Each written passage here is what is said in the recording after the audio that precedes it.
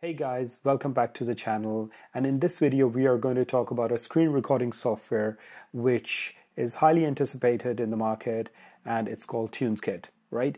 Um, as you know that, uh, you know, at some stage you would need to record some sort of video, maybe for your project, maybe for YouTube, or maybe for your school. So if you are looking for a decent piece of software for your Windows or Mac, then definitely don't look any further because TunesKit software is really really good. Now i researched on the internet. I came across this company. I messaged them and they were kind enough to send me uh, the key and then i tried it. And of course it, it's very easy. If you plan to buy the software you can buy it and then you get some discount. I'll put the discount code on the bottom. So the first thing is that you need to head to their website which is tuneskit.com slash screen dash recorder and over here under multimedia you can see you have screen recorder now, this screen recorder is obviously compatible with both Mac and Windows. And you have the option to download any of them for if you're using a Windows, so that you can try for Windows. And I'm using Mac, so uh, I can just uh, click try for free.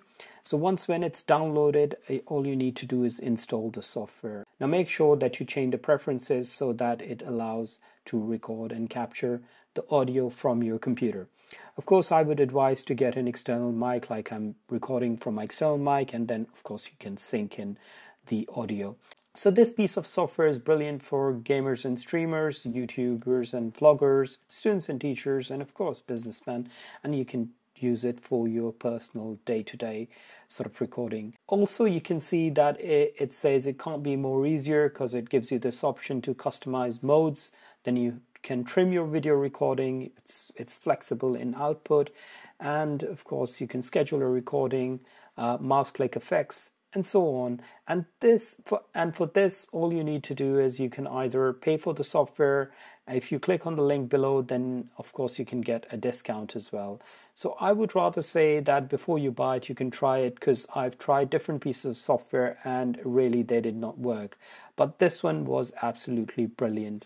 It's very simple, it's very light, it comes with these three options. And if I click show recording toolbar, as you can see over here, that it is giving us this option for recording and we have pause, we have stop, we can slice the video, take a screenshot, and of course add a timer as well. So once you've downloaded it, you can try it, and after trying it, there is an option to buy it.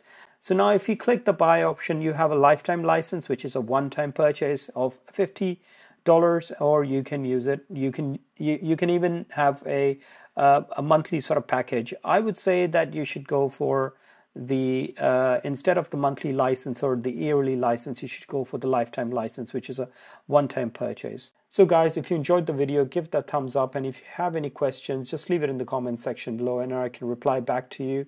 But i would really suggest you to download this software and you know give it a try. It'll really work and it's really really helpful. And i'll catch you in my next video. Bye for now